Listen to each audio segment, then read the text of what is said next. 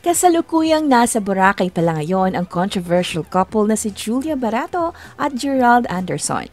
Naispatan agad sila ng mga netizens pagdating pa lang nila sa airport.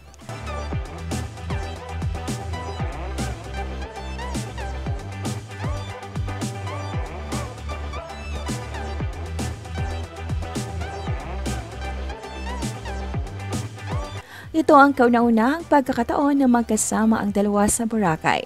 Dahil kung hindi Subic ay Baguio ang madalas na pinupuntahan ng dalawa. Caption pa ni Julia sa larawan na ibinahagi niya sa IG, waking up with an insane amount of gratitude.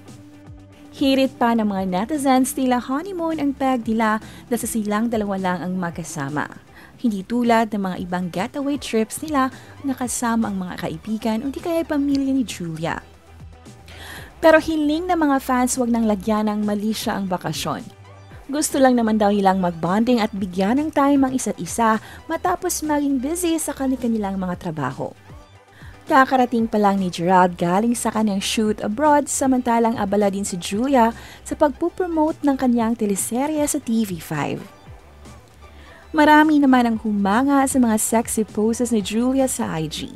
Nagpasapog nga daw ito ng kaseksihan sa Boracay. Hirit naman ng ibang netizens baka mag-propose na si Gerald kay Julia.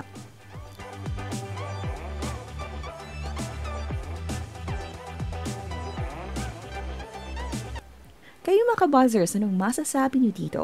Please leave your comments and don't forget to subscribe. Thank you for watching.